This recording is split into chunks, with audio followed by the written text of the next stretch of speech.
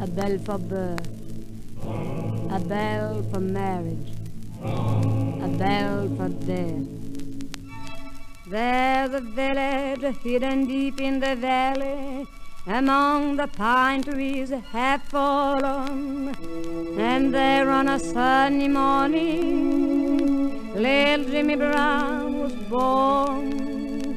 So his parents brought him to the chapel when he was only one day old, and the priest blessed the little fellow.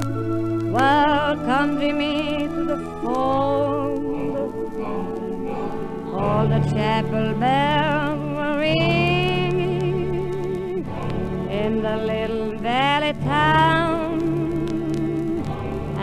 song that they were singing was for baby Jimmy Brown.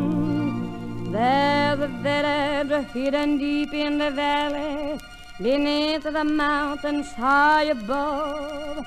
And there, twenty years thereafter, Jimmy Brown was to meet his love. Many friends were gathered in the chapel, and many tears of joy were shed. In June on a Sunday morning, when Jimmy and his bride were wed, all the chapel bells were ringing It was a great day in his life.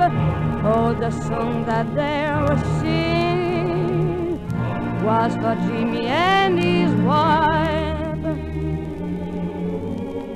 From the village hidden deep in the valley, one rainy morning, dark and gray, a soul winged its way to heaven. Jimmy Brown had passed away. Silent people gathered in the chapel to say farewell to whose life had been like a flower, budding, blooming till the end. Just a lonely bell was ringing in the little valley town was farewell that it was singing to our good old Jimmy Brown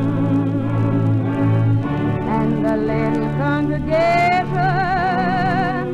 prayed for guidance from above. Let us not into temptation, make his soul find the salvation of thy eternal